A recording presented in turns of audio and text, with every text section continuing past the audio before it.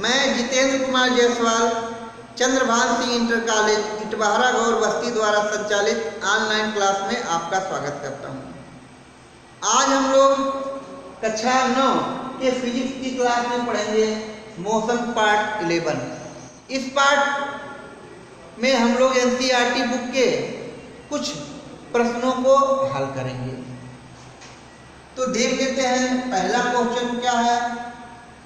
तीन सौ मीटर सरल रेखीय पथ पर जोसेफ जॉगिंग जॉगिंग करते हुए दो मिनट तीस सेकंड में एक सिरे ए से दूसरे सिरे बी पर पहुँचता है और घूमकर एक मिनट में 100 मीटर पीछे बिंदु सी पर पहुँचता है।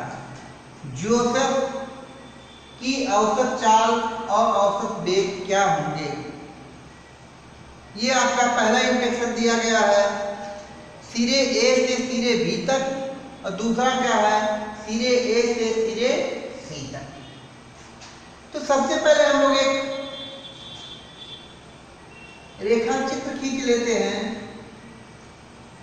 जोसेफ यहाँ से चलना प्रारंभ करता है और यहाँ से लेके, यहाँ तक की जो दूरी है 300 मीटर, वो तय करके कहाँ पहुँचता है? बिंदु बी पर पहुँचता है। और देखिए, फिर क्या करता है? वो घूमकर पीछे बिंदु सी पर, यानी फिर से ये कहा आया था? यही कहीं बिंदु सी है, जिस पर ये घूम के चला आता है, कितना मीटर? सौ मीटर। सौ मीटर चलकर वो कहा आएगा बिंदु सी पे जाता है। तो आपको बता दें कि यहाँ से यहाँ तक चलने में जो समय लगा, वो आपका कितना था? दो मिनट तीस सेकेंड। और यहाँ से यहाँ तक आने में जो समय था, वो आपका था एक मिनट। एक मिनट। ठीक है? तो हमको लगता है डायग्राम आप समझ गए होंगे। अब हम लोग पहला क्वेश्चन सॉल्व करते हैं ए वाला क्वेश्चन तो ए वाला पार्ट क्या है? सिरे ए से सिरे बी तक। तो सिरे ए से सिरे बी तक हमको क्या निकालना है? जो औसत भी औसत, चार और औसत बे तो हम लिखेंगे सिरे ए से सिरे बी तक।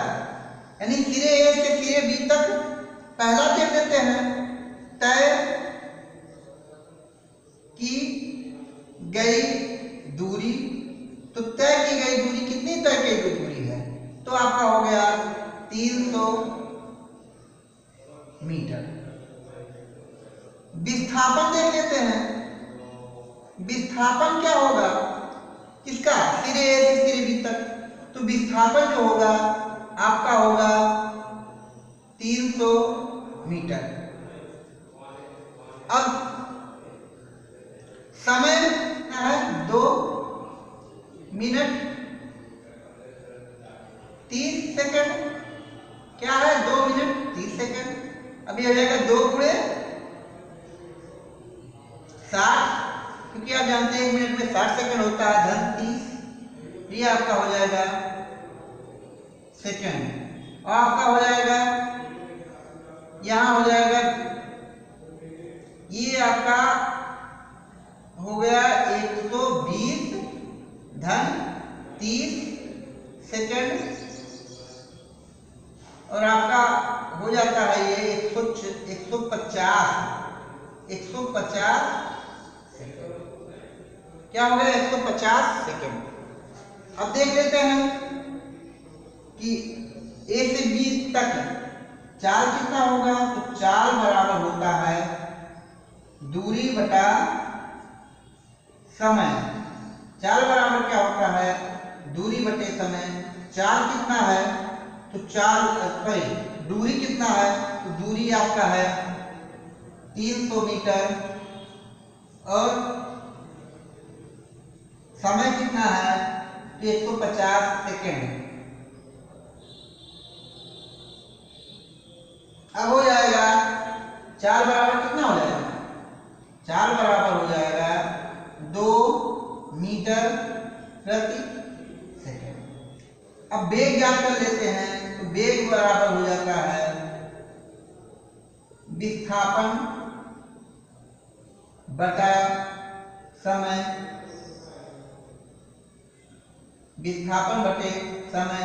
और विस्थापन कितना है? तो विस्थापन आपका 300 मीटर है और समय कितना है? 150 सेकेंड। और ये आपका हो जाएगा दो मीटर प्रति सेकेंड। इसका अर्थ ये हुआ कि सिरे ए से बी तक जो चाल होगा और वेग, ये दोनों बराबर होंगे। जिनका मान कितना है? दो मीटर प्रति सेकेंड। हम लोग देखेंगे बी वाला पोर्शन सिरे ए से सिरे सी तक। अब क्या ज्ञात करना है? औसत चार और औसत बे तो हम लोग लिखेंगे, सिरे ए से सिरे सी तक। यानी सिरे ए से सिरे सी तक। पहले क्या हम लोग निकालेंगे? दूरी। क्या निकालेंगे? दूरी। तो आपको बता दें कि दूरी कैसे हो जाएगी? कैसे निकालेंगे? तो ए पहले क्या चलता है? ए से बी यानी हो गया आपका ए बी फिर क्या चलता है? बी से सी तो हो गया बी सी ऐसे में ए बी का मान कितना है? 300 मीटर। बी सी का मान कितना है? 100 मीटर। और दोनों जोड़ने पे हो जाते हैं आपके 400 मीटर। विस्थापन देख लेते हैं। विस्थापन कितना होगा? तो विस्थापन जो हो जाएगा? पहले कितना चला? A, B. लेकिन देख रहे हैं कि पुनः वो किसकी तरफ़ आ रहा है? किसकी तरफ़ आ रहा है? सी की तरफ़ आ रहा है। और सी किस ओर है? ए की ओर। तो ये आपका हो जाएगा माइनस ए सी। क्यों ऐसा है? क्योंकि आप जानते हैं कि विस्थापन बराबर जो होता है, वस्तु की अंतिम स्थिति माइनस वस्तु की प्रारंभिक स्थिति। तो यहाँ अंतिम स्थिति क्या है? सी और प्रारंभिक स्थिति क्या है? ए। तो हम क्या करेंगे? 300 में से 100 घटा देंगे तो आपका आ जाएगा 200 मीटर। क्या आ जाएगा? 200 मीटर। मतलब दूरी कितना होगा? 400 मीटर और विस्थापन कितना होगा? 200 मीटर। ए से सीधे सी तक जाने में कितना समय लगा? तो समय।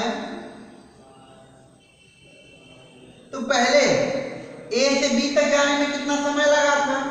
दो मिनट। तीस सेकंड। हो जाएगा दो मिनट तीस सेकंड प्लस घूम के आने में कितना समय लगेगा? तो एक, घूम के आने में लग- कितना, और घूम के आने में कितना समय लगा? तो ये आपका हो जाएगा एक मिनट। अब यहाँ इसको हम हल कर लेते हैं तो आप जानते हैं इसका जो मान आया है, कितना आया है? 150 सेकेंड आया है। और ये क्या हो गया? 60 और जोड़ देंगे। तो ऐसे में हो जाएगा ये 210 सेकेंड। कितना आया? 210 सेकेंड आया। अब हम लोग चाल देखेंगे। तो चाल बराबर होता है दूरी बटा समय। दूरी कितना है? तो दूरी आपका हुआ 400 मीटर और समय 210 सेकेंड। 210 सेकेंड। अब देखिए, यहाँ से शून्य और शून्य कट गया तो आपका हो गया चालीस बटे इक्कीस। और जब हम भाग देंगे तो हो जाएगा एक सही उन्नीस बटे इक्कीस। अब विस्थापन देख लिया जाए। सॉरी अब वेग देख लिया जाए। वेग बराबर क्या होता है? विस्थापन बटे समय। विस्थापन कितना है? तो विस्थापन है आपका 200 मीटर। सॉरी, ऊपर हो गया आपका मीटर प्रति सेकेंड। तो विस्थापन क्या हो गया? आपका 200 मीटर। और समय क्या हो गया? तो समय जो हो गया आपका 210 सेकेंड। अब ये आपका हो जाएगा शून्य से शून्य कट जाएगा, आगे कटेगा नहीं तो हो जाएगा। 20 बटे इक्कीस मीटर प्रति सेकेंड। तो आपका ये जो क्वेश्चन था, वो हल हो गया है। आशा करते हैं कि वीडियो आपको पसंद आया होगा। आप फिजिक्स के सवालों को अच्छे से अभ्यास करेंगे और बार बार अभ्यास के द्वारा अपने आप को